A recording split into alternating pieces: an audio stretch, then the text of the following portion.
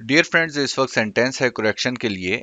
I have met him last month अब इस sentence में पड्डा टेंसेस का है। देखें, हमारे पास एडवर्ब ऑफ़ टाइम दिया हुआ है लास्ट मंथ तो पास्ट के कंप्लीटेड एक्शन में प्रेजेंट परफेक्ट भी यूज़ होता है और पास्ट इंडेफिनेट टेंस भी यूज़ होता है।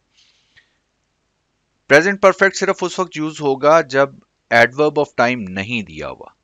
टाइम स्पेसिफाई नहीं किया हुआ उस वक्त प्रेजेंट परफेक्ट इस्तेमाल होगा पास्ट के कंप्लीटेड एक्शन के लिए।